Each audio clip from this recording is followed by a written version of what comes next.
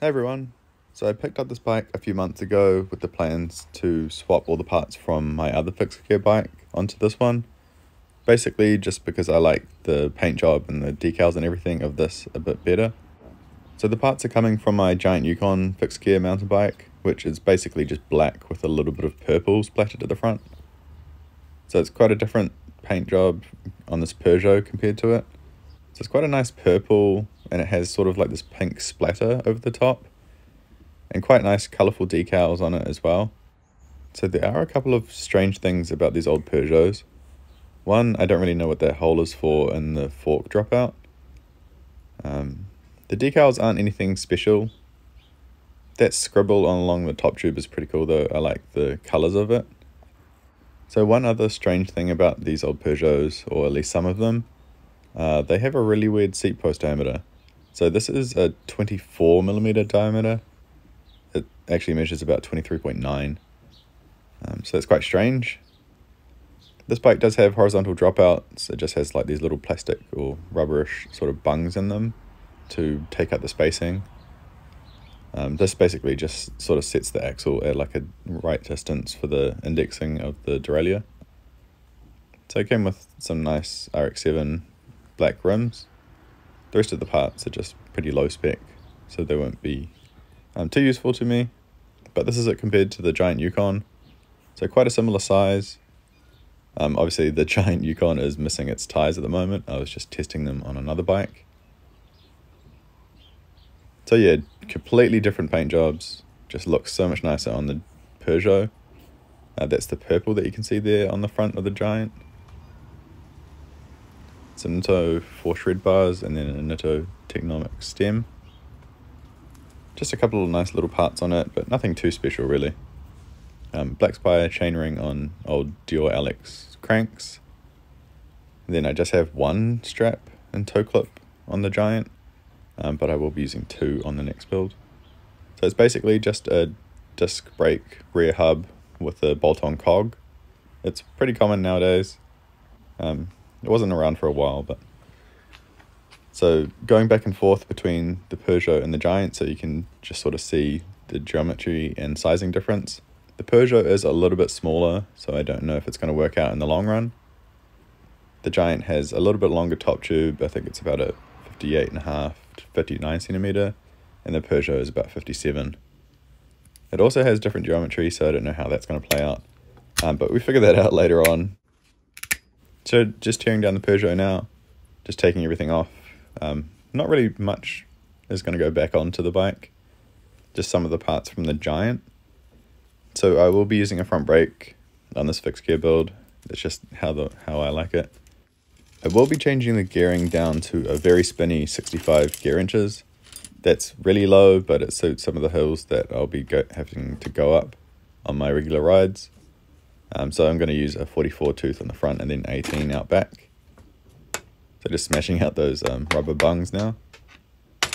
Yeah, for some reason they were kind of stuck there. And then sometimes people decide to cut off the derailleur hanger when doing fixed gear builds. Um, it's your bike, do whatever you want. I don't do it though. Um, just in case like, I want to throw gears on in the future. It does look a lot cleaner though without the derailleur hanger and like all the cable stops and stuff, but yeah, it's completely up to you if you want to leave them on or not. Then just tune down the rest of the bike.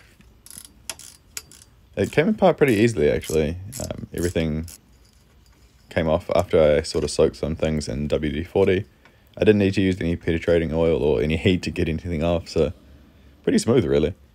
I did throw some WD-40 down the seat tube just to make sure that the bottom bracket would come out easy. I just put it through there before I get to it, and then so it soaks through a little bit just to sort of help it out a little bit. Um, then if that doesn't get it out, then I use some penetrating oil or something, and then soak it for a day or two. Um, otherwise, if that doesn't get the bottom bracket out, then I normally get like a just a longer pole on it, like bolt the tool down. So the stem needed a little bit of a whack. Sometimes the wedges just get stuck in the steerer tube. So just a little tap down from a punch. So yeah, you can see there on the quill stem, it was quite corroded. Um, not too bad though. There was no ledge or anything inside the steerer tube, so no real biggie.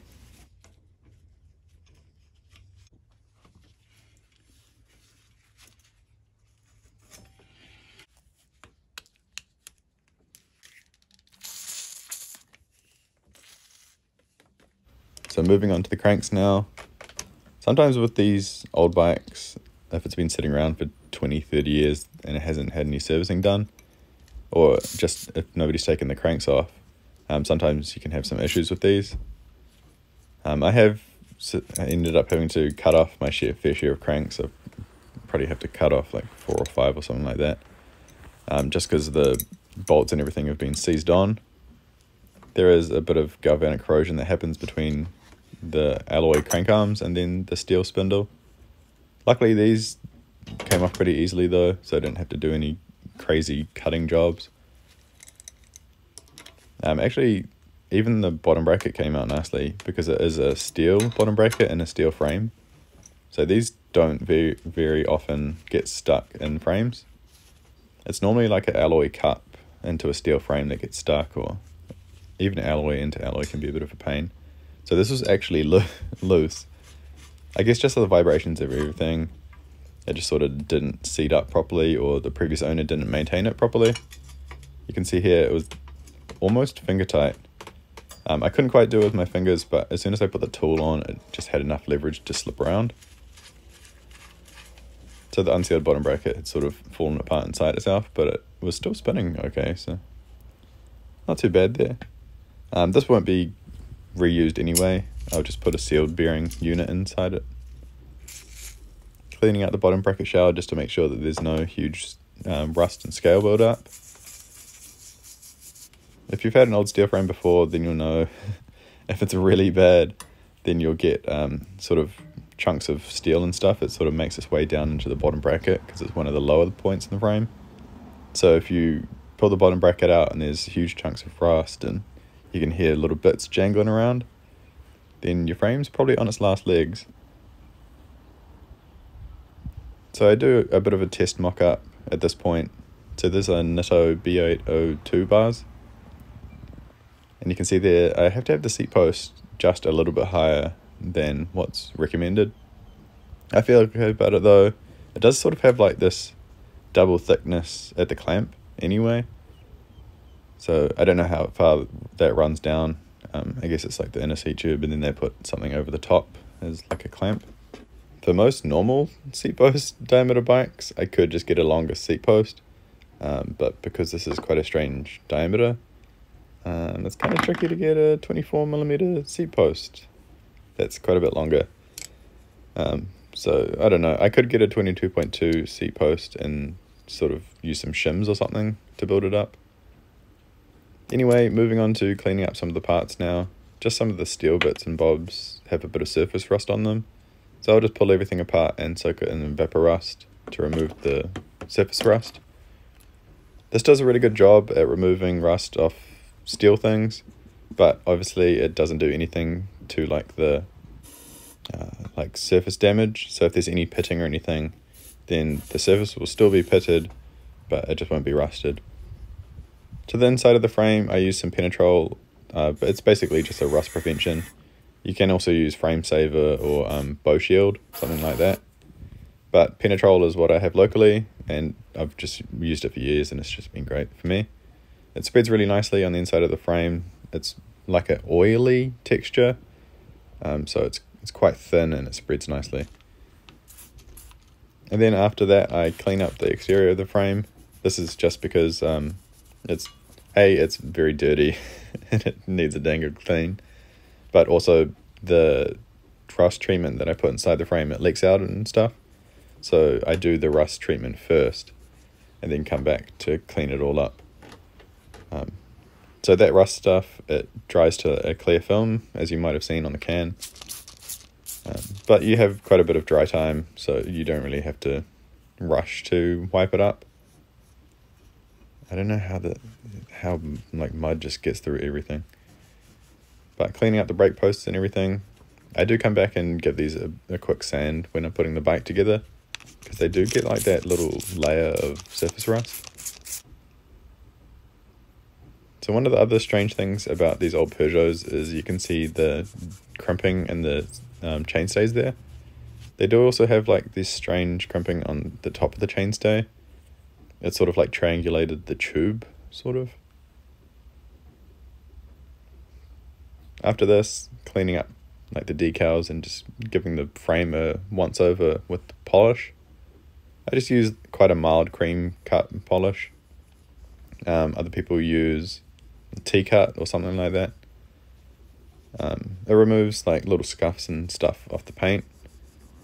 And it's pretty safe to use on decals. I've never really had any issues with it.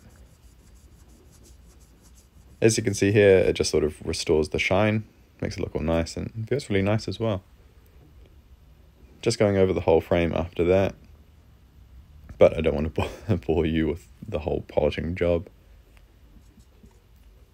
So the next day, all the vaporized parts get pulled out. Quite like using Evapo-Rust because you can just shove your hand into it. Um, you can also use vinegar or something like that. It works pretty good too. Then just wipe things down. After the Evapo-Rust, I either like clear coat it or something like that just to protect it a bit. Um, it sort of depends on the, the item. So like brake bolts, stuff like that, sometimes I want them black, so I go with black spray paint. Um, other things, if they're polished or, you know, sort of chrome finished, then I'll just go over with some clear coat. So just moving over now to cleaning up the headset and then I'll be doing some assembly of the bike. So this headset was in okay condition. Um, I basically just check for any pitting or um, indexing marks. So sometimes these cage bearings, they um, create sort of, they call them like indexing marks because it creates like notches that end up like indexing the headset. So it sort of like self-centers, which, which is really annoying. Um, so there's no index marks or um, pitting or anything in any of the surfaces, then it's pretty much good enough for me. Um, as long as it doesn't feel too rumbly or anything like that. I'll reuse the headset. Just saves a bit of money and stuff. And like, if it's perfectly good to use, then just why replace it? So going over some of the outside of the bike. Um, I don't know why this clip is here. This is before polishing the bike. Um, but yeah, rust converter works great. It just turns all the rust black. Um, you don't even have to coat over it. It just works as like a primer, um, but it seals it nicely. I've used this on bikes for a couple of years now, probably four or five years, and I haven't seen any um, rust reforming after using Rust Converter. Um, that's a CRC branded product, but there are others. Reassembling the stem, I just put grease on like the contact parts and stuff. And then obviously on the quill wedge and everything before it goes into the frame. Yeah, looks quite nice. I really like these old Nitto parts. Got to be one of my favorite. I don't really like this headset. Um, like it has that rubber um, seal over the top, but without that seal, you can see all the bearings all exposed. So go over with more grease just to sort of weather tight it a bit better. Don't feel 100% about it, but um, I'm sure it'll do its job nicely. It just, it's just in the back of my head that it's like, why didn't they just have a cover that like sits nicely or at least like build the seal into it properly so you don't have to like shove it back over. I don't know. Um, then throwing the stem in, I use a toothbrush to sort of work the grease up and down because otherwise you can't really reach that far. Um, or you have to have like a different fitting on your grease gun, which is just annoying.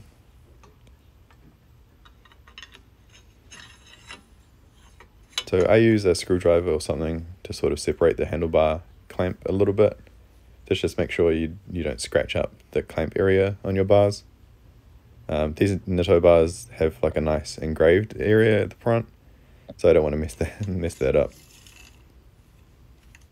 This is an old Diacompe, I think it's a DC-135 or I can't remember, um, brake lever. And then these are Colt, sorry, Cult, um, Cult, um, BMX waffle Vans Waffle Cruiser Grips.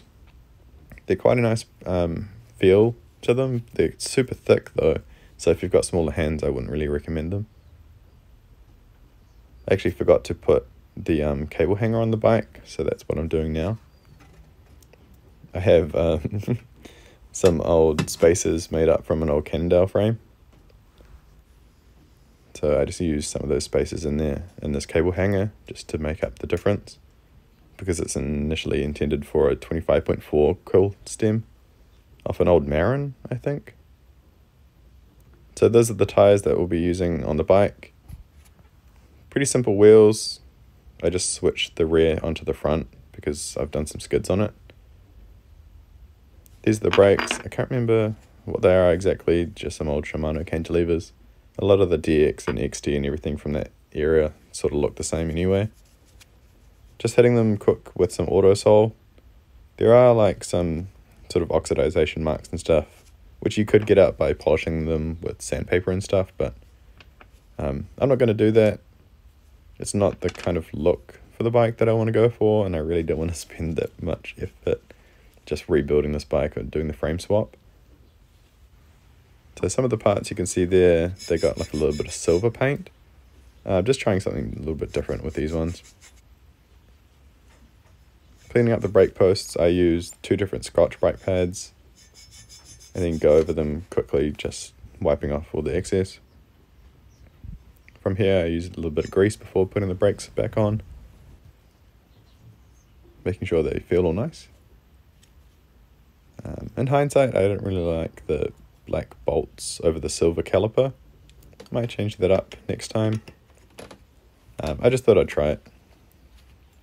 Tried it, not a fan. So when setting up cantilever brakes, I just quickly mock things up and then like throw the cable on and then go from there. I try and use Kool-Stop brake pads or at least try use them on the brake and the back if I have two brakes. Um, just so then I have a really grippy brake in the back. Then the front is normally pretty good anyway. Kool-Stop brake pads are amazing, so if you haven't tried them, just check them out. The Salmon or the Dual Compound are really good for all weather and stuff. So from here, I just mock up the um, straddle cable length. So you want this to be 90 degrees when the brake pads contact the rim. So just setting up the height from here to get the right angle when the pads contact. So there's a little bit of back and forth that you have to do here. But um, that's why I set the pads at sort of the right distance beforehand. And then you can let, lock the straddle cable hanger in place and then do any pad adjustments from there. So just making sure that it's like centered and stuff. Doesn't have to be spot on because it'll find its center anyway. So I think these screws come in handy, but sometimes they do more harm than good. From here, I just sort of make sure that the pads are even and then add in a little bit of toe in. So adding toe in, I just use the Allen key, put it in there and then sort of lever it forward a little bit. Sometimes um, some brakes need a little bit more toe in than others, so just give this a little bit of a trial once the bike's all rolling. Then throw on the cable ends and go from there.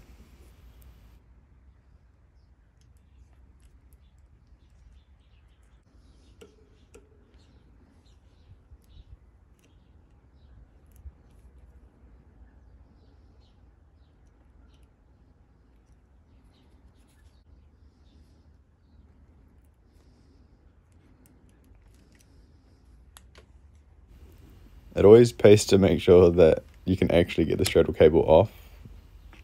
Um, sometimes I like to use my little multi-tools pliers.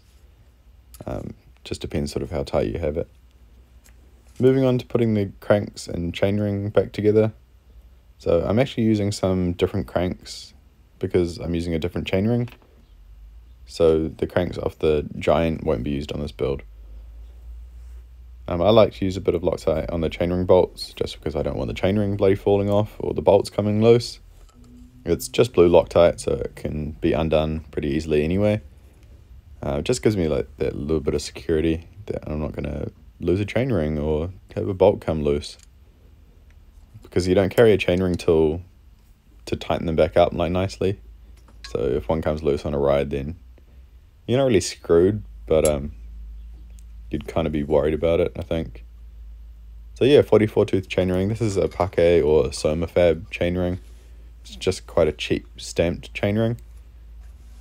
Throwing some grease in the bottom bracket threads here. I force in the grease so you don't like overload it because otherwise um you can sort of bind up the bottom bracket and you can actually mess it up by overloading the grease too much.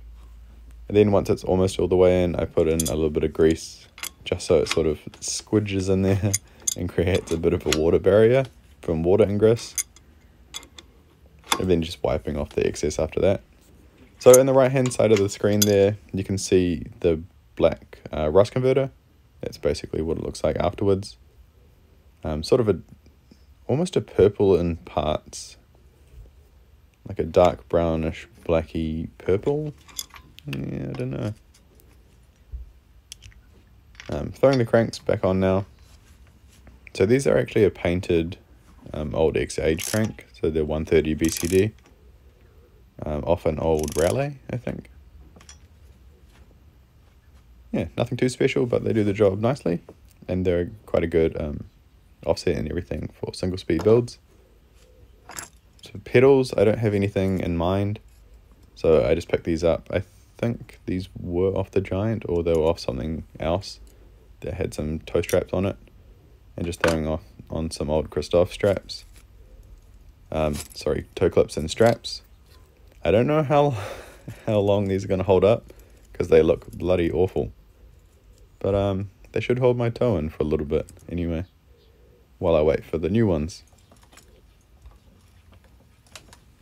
So yeah, just throwing these on. I think I did service these a little while ago anyway, these pedals. So just throwing in the rear wheel now. I didn't have to cold set the frame. Um, in some situations you might have to, um, but this is a 135 millimeter hub, so it fits pretty straight into the, the frame. Um, I normally do cold setting just by like a, a nice long threaded rod or just like a long bolt with a couple of nuts and then like spread it apart, let it sit for a couple of days and keep spreading it. Um, it works really well with steel frames there's really no issues with it. Just keep an eye on everything to make sure you're not cracking anything. I had this old um, Izumi Master Link from an old Izumi chain, I guess. so I thought ah, I would use that. It's gold, it'd be easy to see. And it's tough, even though the rest of the chain is just KMC. So I, I buy KMC chain in like 6 meter length. Um, they sell it as 14 garage door chain. So it's like 20 bucks for six meters, which is pretty insane. So the bike's all together now. The only real issue I have is my handlebar bag booping into the front brake cable. I could use a lower cable hanger that comes off the fork. Um, I tried everything to sort of set the handlebar bag. I flipped it backwards and stuff, but I couldn't get it to to sit nicely. So I don't want to change the cable hanger. So instead, I'm just going to create like a little bit of a barrier somehow. Just like a bit of a rod or something coming down from the stem or something. So what I came up with was an old bottle cage, like section, sort of bent up, coming up the front there. It looks pretty sleek and it does the job really nicely. It just protects the front brake cable. So from here, we're just going to go for a bit of a ride just to check it out and see what I think about it. Uh, but yeah, Hope you liked the video, and I'll check back in a bit later. Thanks.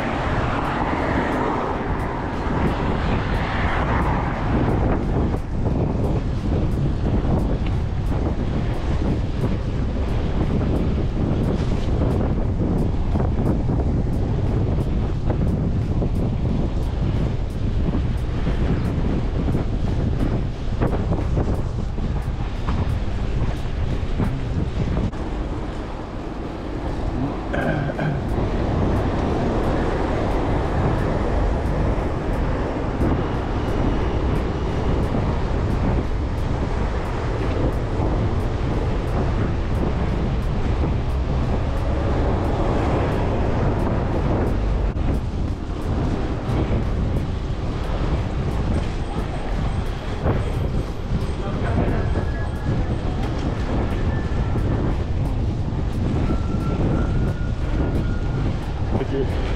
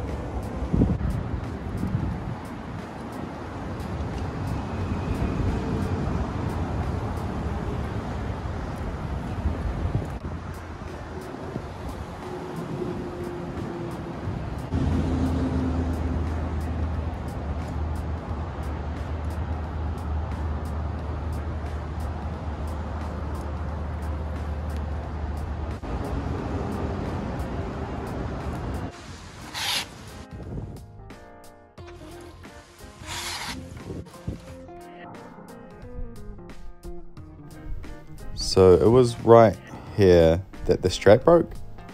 I actually thought that it was the strap, like the clip on the strap, that sort of gave way because it was so rusty. I was expecting that to fail. Like I thought it was just going to let go of the strap at some point, but it didn't. It actually broke the strap. Um, so after that, I just thought I'd try like a couple little track stands, but I just wasn't feeling it. So I pretty much just stopped filming after this. Um, I thought I'd come back another day and just try some more skids and stuff, but just never got around to it. And here we are, like finishing up the video. Really beautiful sunset. Um, there's some more clips from the rest of the ride that you'll see here. So I don't know if you saw it, saw it before, but it goes no hands pretty good. Um, and that's with the front weight on as well. There's not much in there, like clothes, regular sort of commuter stuff, clothes, tool, pump, there's actually, actually some cake in there as well. Um, yeah, that's pretty good.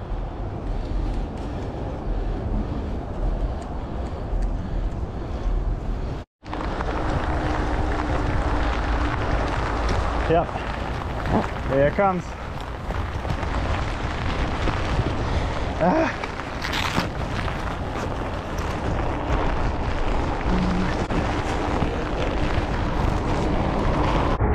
So my thoughts on the bike. I really like how it looks. I like the setup and everything. I wouldn't want to change anything, but it's just too small for me. Uh, with a little bit longer seat post, I did actually order a seat post. Um, I don't want to change the handlebars or stem or anything, just to accommodate me for it. But the top tube is a little bit too short, so I could swap the parts onto this Specialized Hardrock uh, it's a little bit bigger, but it's not as tall. So it does have um, horizontal dropouts and everything, so it would work pretty nicely. But it's just not as tall as the Peugeot. So I do really like the height of the Peugeot, um, just with a longer seat post. But yeah, it's just, I don't know if it's the geometry or what, because it does look like the seat tube is a little bit more laid back. Um, but I have to have the seat forward so I don't get like any knee pain or anything. I didn't have any knee pain or anything on the bike rides that I've done. Um, so I think I did about 100 Ks on it, trying to test it out and everything. Um, so I won't be keeping the Peugeot. Um, I'm going to hand it off to a mate. Um, I'm hoping he'll do it up as a fixed gear build. I have no idea. Probably he builds everything as like a single speed or fixed gear. So I hope you like it, Zane. Um, take good care of it, beat it up. I don't really care. just have fun with it, dude. Um, but yeah, it's going to a great home. Um, I'm going to build up maybe the Giant in like a different colorway or something. I have no idea. Um, thanks for checking out the video though.